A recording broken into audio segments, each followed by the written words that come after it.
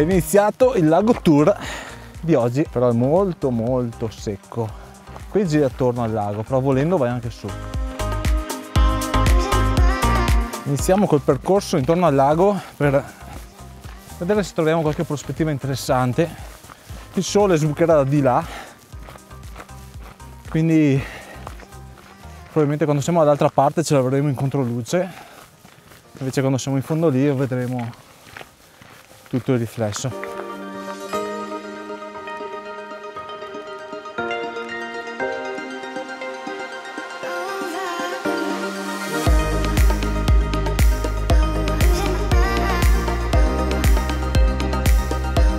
Un po' secco, ma un po' tanto secco, ma guarda che paesaggio.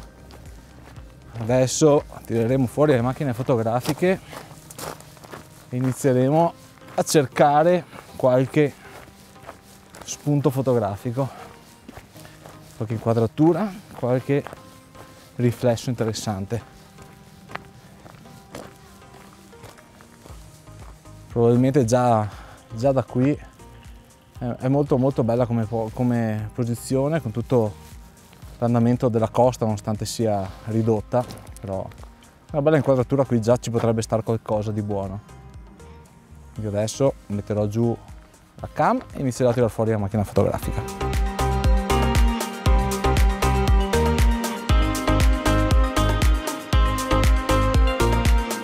eccoci qui sul lago di Braies. Piccola introduzione prima, hai visto che è particolarmente secco come sono le condizioni praticamente di tutti i posti in questa zona. Tuttavia adesso cercherò comunque delle prospettive interessanti. Inizio con la prima, faccio una serie di scatti in questa posizione perché mi piace molto come si vede la linea della costa che segue lì degli alberi con le punte già belle gialle, siamo in autunno qui in questa zona.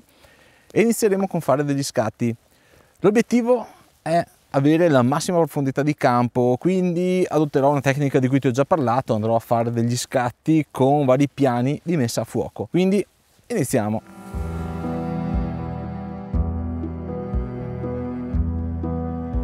Che impostazioni sto utilizzando? Attualmente sono a 100 ISO, ho un filtro polarizzatore che mi serve per polarizzare un po' la luce del lago, però questa volta vado a ottimizzarla per avere un miglior riflesso della montagna sull'acqua. Impostazione di scatto 100 ISO, F9 come apertura diaframma, mi dà un tempo di scatto di un decimo di secondo, ma sono sul trepiede, quindi non ho problemi di eh, lentezza dello scatto, l'acqua è ferma, quindi non c'è problema del micromosso, eccetera. E andiamo a vedere un po' quali sono i risultati.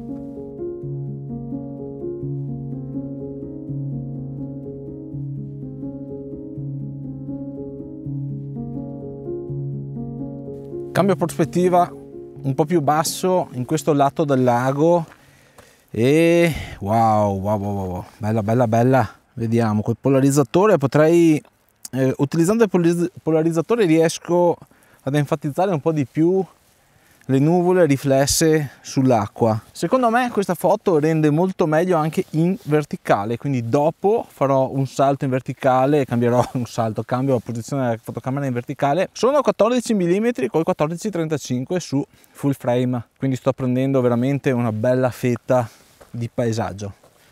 E anche qui iniziamo.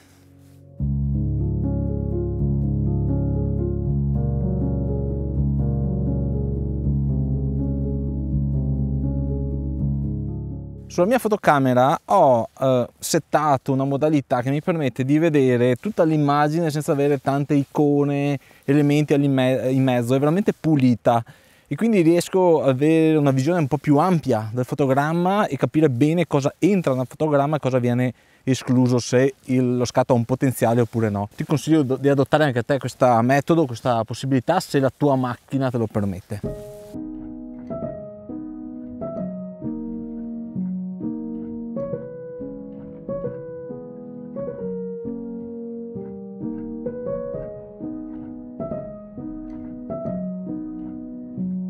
E adesso andiamo in verticale.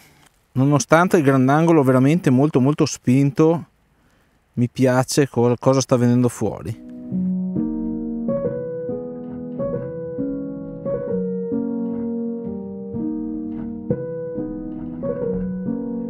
E visto che con la Canon obiettivo stabilizzato, sensore stabilizzato, vado a sfruttarla anche a mano libera perché è molto più comodo del trepiede quando si possono fare questo tipo di scatti, polarizzatore e andiamo. Vado a utilizzare esclusivamente il mirino.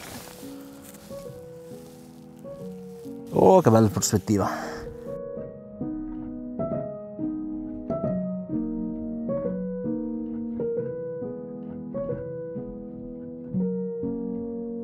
Gioco sempre ricordandomi la questione della profondità di campo, un terzo davanti, due terzi dietro, concetti base della fotografia. In verticale non ha tanta, tanto potenziale, c'era molto di più in orizzontale.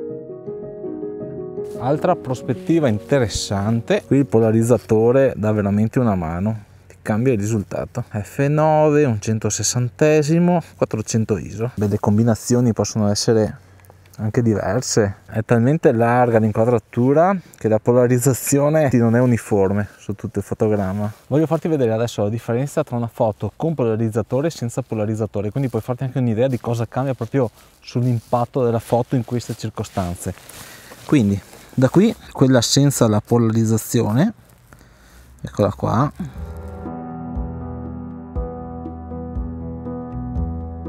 E adesso vado a metterti la polarizzazione.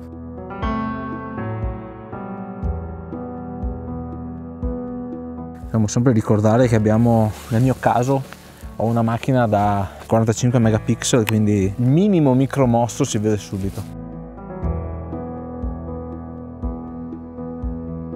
alta prospettiva molto bella, riflesso della montagna sull'acqua.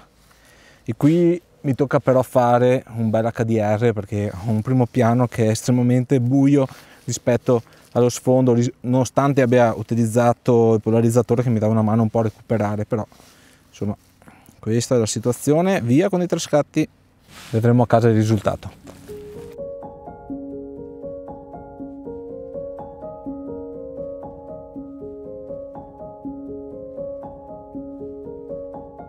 e questa è la vista che abbiamo a questo punto panoramico sul lago di Braies però adesso ci dirigiamo verso la fine di questo primo giro primo lago tour di oggi.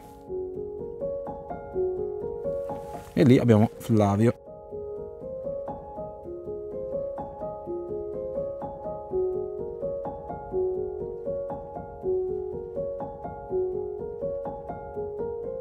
A conclusione del giro siamo qui, il, la solita iconica foto del lago con le barchette fatte lì dalla casetta. Noi l'abbiamo fatta questa mattina che non c'era nessuno, ma abbiamo anche voluto non farla perché alla fine era la solita, diciamo, scontata foto. E invece qui, a conclusione di questo giro, abbiamo questa prospettiva molto bella con la luce che arriva dall'interno del, della valle questa qui è una valle chiusa, quindi non c'è la strada che continua, ecco, che illumina tutto il paesaggio. Adesso farò qualche foto anche qui.